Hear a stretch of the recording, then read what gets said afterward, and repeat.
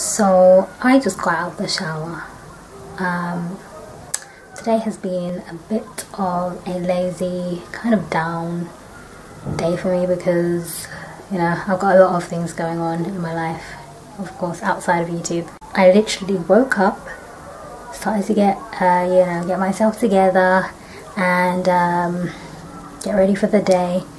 Had something to eat, did a bit of uh, video editing um, I sent some emails, made some calls. Then I head over to the shower, right? Get in the shower, I'm in there for about 10 minutes. It takes me like 15 to 20 minutes in the shower. And within like 10, 15 minutes I'm in the shower, like I'm literally almost done. I need to just do one or two more things before I get out. What I hear is one of my flatmates, like, who's that in the shower? And I only I only clocked what he said after he said it again because I was like, huh?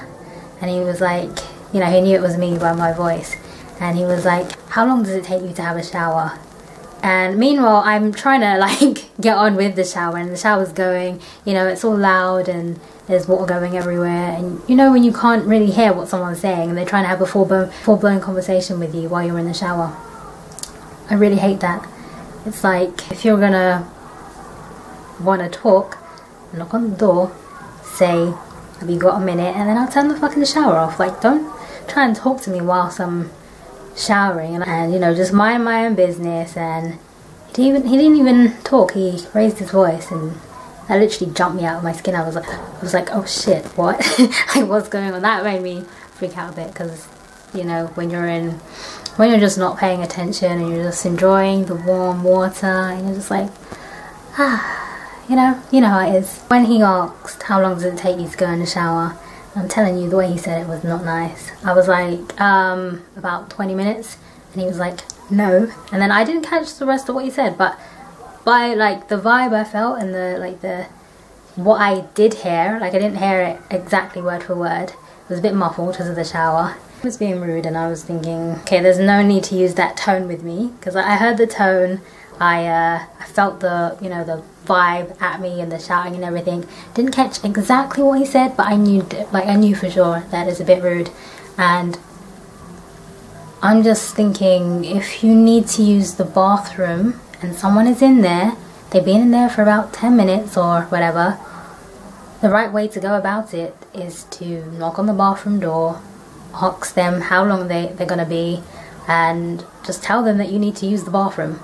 that is just as simple as that. You don't need to go on asking them questions and, you know, trying to have some full-blown conversation, but really it's not even a conversation. You're just kind of giving them a piece of your mind because you're, uh, you know, you just didn't even ask to get in the bathroom in the first place. And I didn't even know that anyone wanted to use the bathroom, to be honest. I asked him as I was in the shower do you want to use the bathroom? And I'm sure he said no, so I have no idea what's uh, going on with that. And I haven't heard anyone go into the bathroom since I got out of there. I literally stopped my shower about five or six minutes early just so that he could get in there, like if he wanted to use it. Skipped on shaving, I skipped on I skipped on scrubbing my feet. You gotta scrub the feet, right? And I'm just like, really though like why you gotta be so rude for and this isn't the first time where I've like sensed rudeness from this particular flatmate. When I'm cooking something he'll walk into the kitchen and be like oh what are you cooking? That shit again. Like it's just it's rude. I'm sure he's like this with everyone but it's just nah I'm, I'm not feeling it. I don't care if someone is rude or rude in a playful manner with everyone. It's like we're not on that level. Like I don't know you. Why are you uh, talking to me like we're best buddies and like we're on, you know, that friendly sort of level. Like I've only lived here for uh, just under 12 months, so it's like, you know, we, we, why? it's not like we, we grew close or anything. And like to top it all off, the guy is retired. He's in his in his 60s or 70s, one of those, or like in the middle, so like 65. And he's this tall, white-haired Caucasian guy and yeah he's slim very slim doesn't really wear a t-shirt in the house I don't know why and he's on the the floor the first floor and I'm on the second floor. So yeah, it's not like we're talking all the time or you know, I'm out quite often. Don't really don't really chill in the common room area or the kitchen. So yeah, there was no never any chance for us to you know talk much or anything. So that's why I say don't talk to me like you know me. Because with my friends, with people I feel comfortable with, sarcasm it comes out a lot and I'm very cheeky and you know they know that I'm joking and it's because we've known each other for years or it doesn't even have to be years you know you can meet someone and you can be talking for a few weeks and you click just like that and yeah you build that sort of comfort and that rapport with them. So my point is that we my, me and my flatmate we do not have that rapport. So anyways guys that was my little rant there about being disturbed in the shower.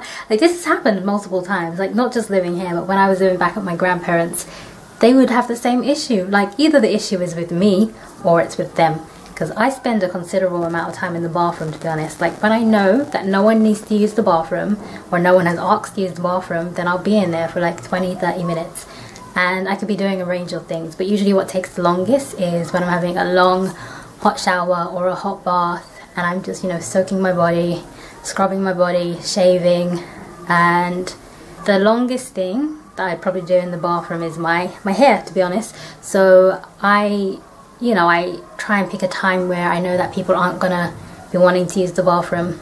But in saying that, it's like you can't really pick a time because you you know I'm not that psychic that I know when when exactly people are gonna want to use the bathroom. Like I'm the sort of person I'd be like, okay, come on guys, let's do a rota. So you want to use the bathroom at this time, I want to use it at this time, so we'll just do that. Like I'm very organized. Like that's a logical way to do it. Or given the scenario in my flat you know, we wouldn't do a rota like that because we all keep to ourselves. So if someone wants to use the bathroom, just knock on the door, say you need to use the bathroom, and literally I would be out like that. Like it would take me less than two minutes to get out of the bathroom just so you can use it, and it's all cool. But yeah, going back to my grandparents, they would do the same thing. Um, I haven't really talked much on this channel about what went on at my grandparents, but it was pretty rough there. It was like a lot of emotional issues going on, a lot of picking on me. Um, it really wasn't nice living there. Um, and that's all I can say. It was very horrible. Maybe one day I'll delve into it just to share my story with you guys who may be going through the same thing or have gone through the same thing. But it was horrible there. It was very... Okay, so I literally ran out of space. Had to delete like six videos and now I'm back. But as I was saying, at my grandparents it was like emotional trauma right there. A lot of things went on and when it came to the bathroom, they had a bath and they had uh, you know the shower attachment and they would always tell me to use the shower attachment. But I was, you know, I like to switch it up a bit. So once or twice a week I'd like to take a bath and then, you know, for the rest of the week I'm called to take a shower. But it's like, shit, I'm standing at my window. okay, so hopefully you guys can see me alright. I literally had to just close the curtains because standing by my window, someone was like looking out their window. Don't know if they saw me, but just to be safe, I just shut the curtains. Anyways, um, so my grandparents would always tell me to use the shower instead of having a bath because they believe that the shower used less water but they did not know me. if you know me, you know that I use a lot of water when I'm in the shower and when I'm in the bath I just fill it up to you know the point where I fill it up to which is usually all the way up and that's it but because they were looking at like how much water was in the tub and they couldn't actually see how much water I was using in the shower they would think that I'm using a ridiculous amount of water if I'm having a bath. But I was to put the plug in the drain as I was showering, I'm sure literally the bath would overflow and it would come up to so much more water than I would be using if I went in the bath. So there was always that issue. They told me to, you know, have a shower. It was almost like they were trying to force me, but you know, it didn't work because I, I always used to just go in the bath when they probably weren't spying on me because that's what they used to do as bad as it sounds like watching my every move and everything and just commenting on literally everything. It was like being it was like being a little prisoner in someone else's home. That's how I describe it. So when I was using the bathroom like to wash my face brush my teeth like do my whole morning routine or my nighttime routine whatever thing I was doing in the bathroom showering washing my hair whatever. Spend quite a bit of time in there I'm not gonna lie.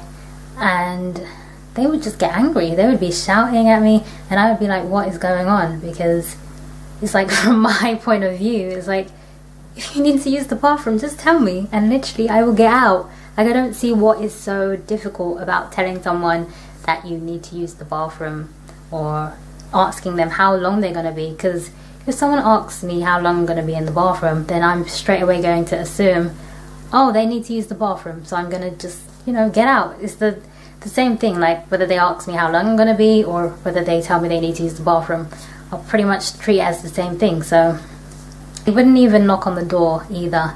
Um, but I have no idea what was going on there. But apparently, my grandmother didn't like knocking on the door when someone was in the bathroom. She just thought you should just come out of the bathroom and you shouldn't spend so much time in there in the first place. That's what she thought. Like you should be 10 minutes in, 10 minutes out. But to be honest, I've always been the sort of person that takes their time with everything, especially when it comes to using the bathroom, washing my face, moisturizing, doing like a face scrub, doing, I don't know, a face mask or whatever, or just in general having a shower, washing my hair. All of that takes me time, you know? Plus shaving as well, that is just like an extra hour right there. Lol joke. More like 30 minutes, but you get my point, right? I take my time.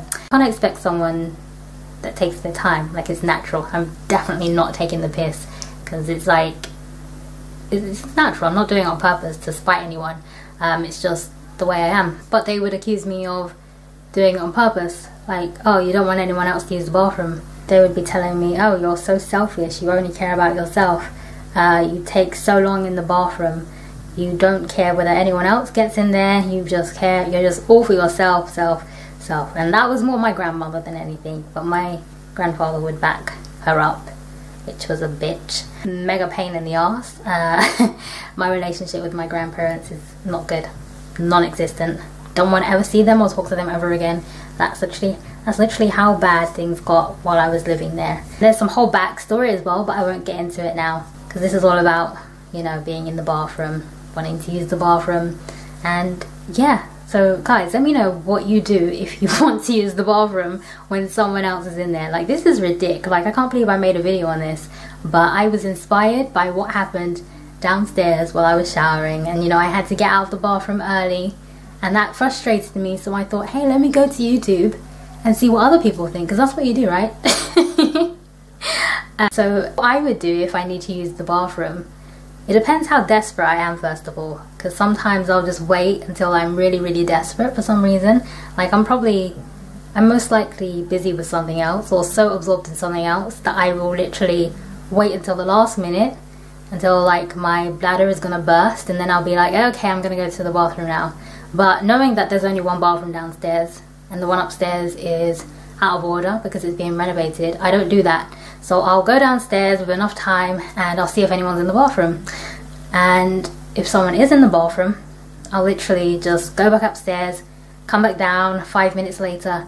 If they're still in the bathroom, I'd probably knock on the door and, you know, that would let them know that someone wants to use the bathroom. And I'd either wait outside, depending on their response, or I'd just go back upstairs and come back down in another five minutes and yeah, that's all it takes. And I've been in the bathroom, it's like people bottle things up and they don't actually tell me that they need to use the bathroom or that they've been waiting for a certain amount of time. Because, you know, no one's a mind reader at the end of the day. I'm not going to know whether someone is has been waiting for like 10 minutes to use the bathroom. Like, as far as I'm concerned, I'm just doing what I'm doing. Like, I'm in that moment. And no one has come to me to say X, Y, or Z. Therefore, literally nothing's wrong. I think it's all about communication because if you communicate well and you don't bottle things up and then you you know when people bottle things up so much so that they end up shouting at you outside the bathroom or just acting really nasty to you for no reason and yeah just just, just having some whole sort of negative attitude. And it's all about wanting to get in the bathroom and it could have all been avoided by just saying I want to use the bathroom. How's it gonna be? and that's it. It's a bit it's a bit weird, it's a bit sad, you know. Um my view of the guy is now changed, so that's all on him. It's like fuck you, can't wait to move out of here because that's just that's just how I am. Like if you piss me off, if you treat me in a way that I don't deserve to be treated in, then I'm not gonna think of you in the same way. If you apologize, then sure I can forgive you and we can move forward. But it's like I'm just gonna be like, oh, okay, I don't don't want to be dealing with that right there. But anyways, guys, I'm gonna end this video here because I need to get out of the house. I've been in here for too long. I just want to go on a bike ride, go for a walk, do some shopping, do X, Y, and Z. Today is a bank holiday, so in London, in the UK, if you're watching from a different country, let me just explain it to you. Maybe it's the same way you are as well, but literally everywhere is shut on a bank holiday, places are either closed or they close early, and it's coming up to the time where everywhere is shut. So I'm not going to be able to do my grocery shopping. I'm not going to be able to go to the bank. I'm not going to be able to go to the library if I wanted to. I'm not going to be able to go anywhere because literally everywhere is fucking shut on a bank holiday. And I have like it's Easter holidays, right? But I don't celebrate Easter, so this is really pointless to me. All over the Easter holidays, I've been itching to just work and, you know, be busy, but because it's the Easter holidays, it's like I can't because everywhere is like, sorry, we're closed, and, you know, workplaces are giving you time off. I know some people are still working, but literally there is no work for me because it's the Easter holidays. You know, some people, they would be more appreciative of having the time off and everything, and don't get me wrong, I have enjoyed like some moments of not working and being at home and just chilling and you know getting a lot of editing done because I have a few videos coming for you guys in a few weeks. Um, and you should totally stay tuned for those. But I like to be busy and I like to be productive. And if everywhere's closed if like public transport is just you know it's not saying much it's literally there's a there's a limited service. If everywhere is just fucked up because it's a holiday it just leaves me feeling like ugh like I probably should make more out of holidays next time round. Because this is this is a thing. Like last christmas was it last christmas? No not last christmas not the christmas. Is it the christmas before that? Okay so not last christmas but the christmas before last christmas i was just stuck in a place that i did not want to be i.e my grandparents. I do not celebrate christmas but they go i was going to say all out but they, they just have some you know some big family gathering and they're all like happy and bubbly and they have such Christmas spirit. Whereas I'm just like, it's a normal day. Like literally, it's just, it's just a normal day. Um, I'm not religious, so I'm not going to be celebrating the birth of Christ. And I know that a lot of people, they're not religious and they don't celebrate the birth of Christ, but they celebrate Christmas. But they do it in a, in a commercial way. So they buy gifts for each other, they expect people to give them gifts, they exchange cards and etc and of course they see it as a time to be together with your family or your friends whatever. Um, so i can get it from that point of view. But from my like in my own personal opinion i feel that christmas and all of these other holidays they should be celebrated by people who are actually following the religion and who are actually in that faith. Because if someone's christian and they spend the time with their family and they gather around the table they pray you know they thank the Lord Jesus for their food and all of that stuff. And they say amen and they share warm and sincere messages from the heart uh, towards each other and they exchange beautiful gifts and everything. And you know, their heart is in another place. Their heart isn't in the place of, oh, I'm gonna get drunk, or I'm gonna, I'm just here for the food, I'm gonna stuff my face so much, or you know, I really just came here to get my presents, to be honest. Like, that's literally how some people are, and I don't think it's you know, I know it, happens and that's the way a lot of people think, but I don't think it's right to be honest.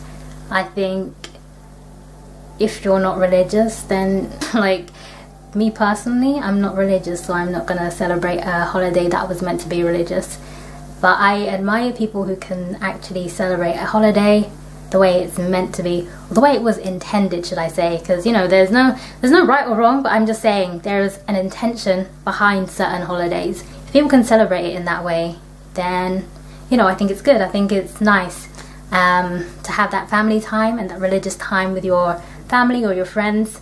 And, you know, don't just use the holidays to get drunk. Don't just use it to stuff your face, to get presents, get money, whatever. I think it should be more meaningful than that. But anyways, this turned into a huge rant, guys. I didn't expect my flatmate kind of being a bit rude and asking to use the shower. I didn't expect it would turn into this right here. But there you go, guys. Um, again, share with me what you would do if you want to use the bathroom. How long do you take in the bathroom?